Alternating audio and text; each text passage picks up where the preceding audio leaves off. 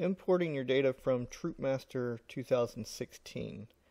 Uh, so imp to import your data, we need to go to the File menu and then down to Import from TroopMaster. Now as we get more imports into the system, this is likely to get moved into a submenu. So you go to Import and then move over to from TroopMaster. Um, so let's get started. First we need to create an import file from TroopMaster 2016. Let's open up our desktop version of TroopMaster 2016. Let's go to File, Export, TroopMaster 2016. Now it's going to prompt you to check your database to see if there's any damage in the database um, before exporting it to the web. Uh, we want to make sure that your desktop database is in good shape before we do any exports. So we'll go ahead and click yes. Click proceed.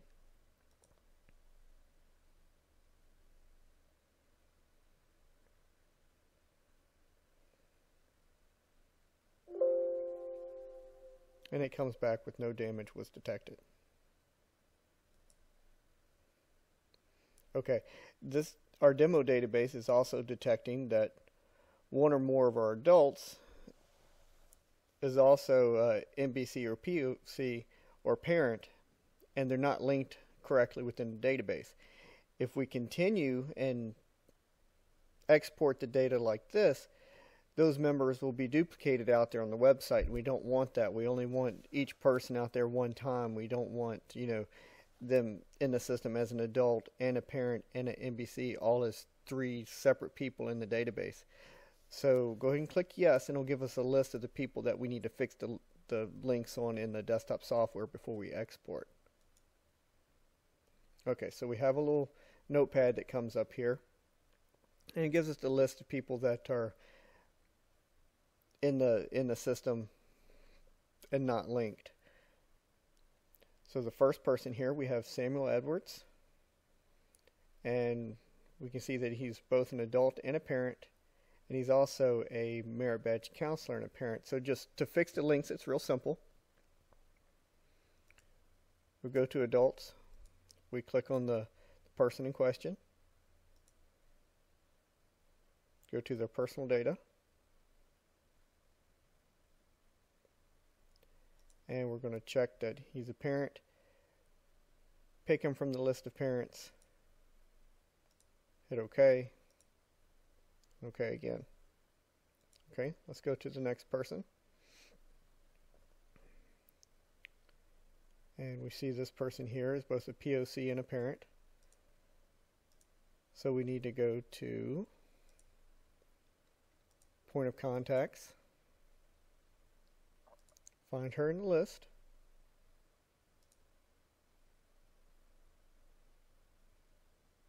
Check the parent box. Pick her from the list of parents. Hit select and OK. And we have Fred Osborne and Margie Osborne are both parents and adults.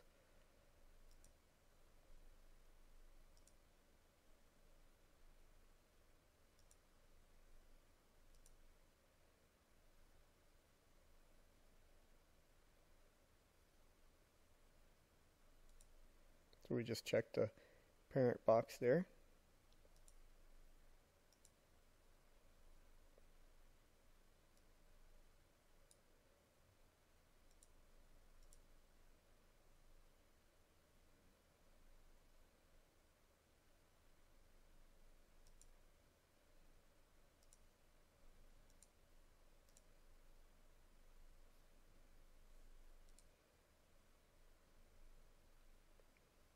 Next person on the list is Walter Savage.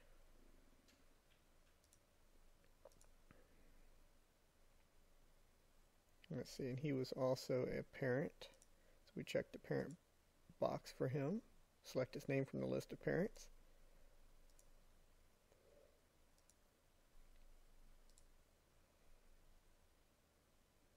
And Virginia Tucker is a point of contact in a parent. So let's go back to point of contacts.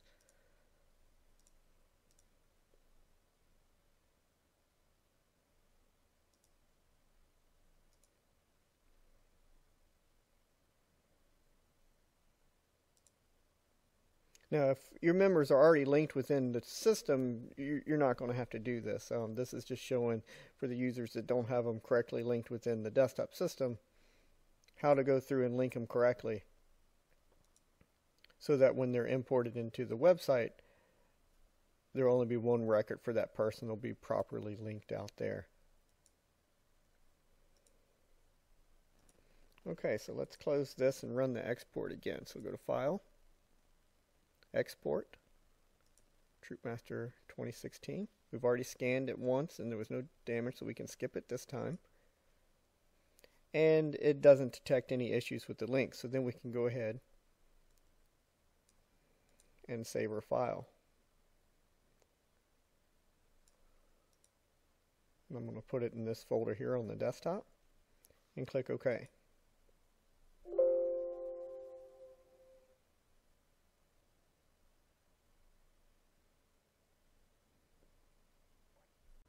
And if we also want to import our archive data, we can do that as well. First, we need to open the archive.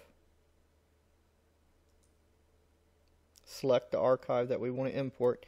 You can have multiple archives listed here, and you would have to do this for, for each archive one at a time. Um, but since I only have one, let's pick archive 1.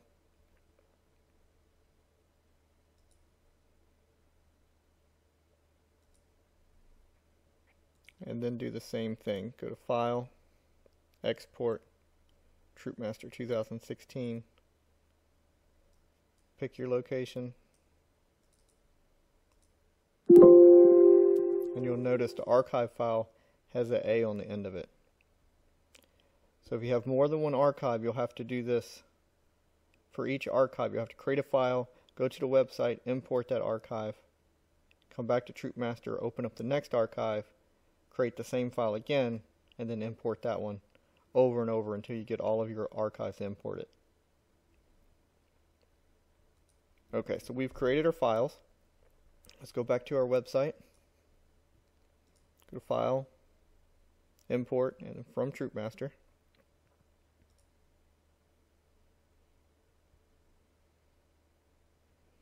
And on this screen we go over the instructions here. Um, so first we need to import our active data. You, you have to do that one first.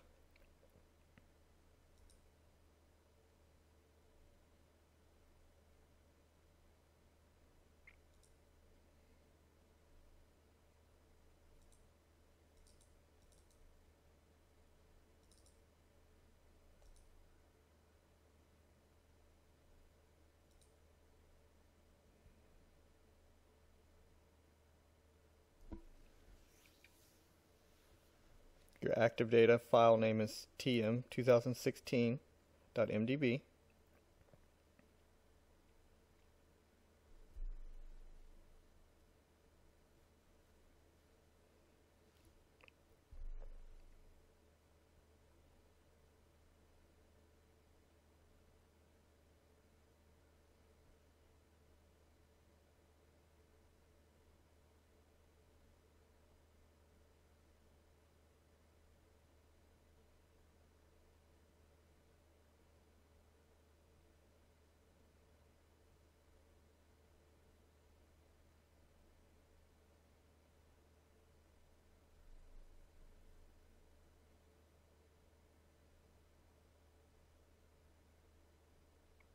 Okay, it gives you a warning, letting you know it's going to remove all the data in your system. Are you sure you want to continue?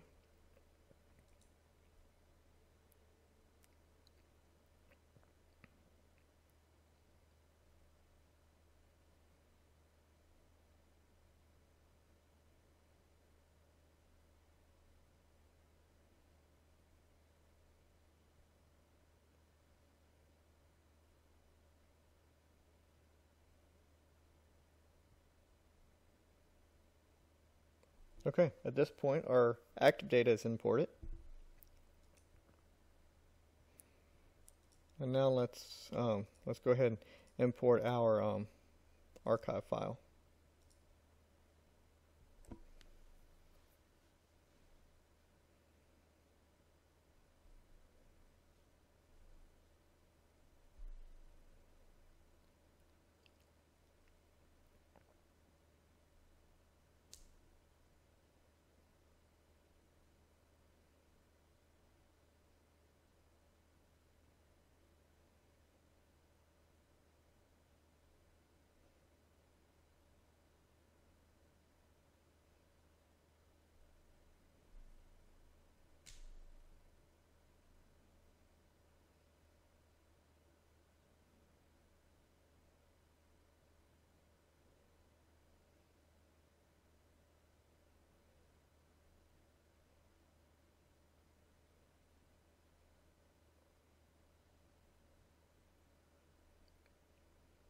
Okay, got a similar warning, um, except this time it's it's not going to erase all of our data. It's just going to add to our existing database and put these members into the archive.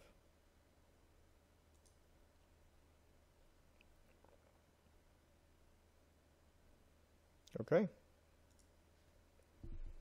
That's it. If we go to our scouts, you see this is our active data. Let's import it. We've got all of our scouts, and our adults, our advancement, everything's been imported from TroopMaster. We can open our archive.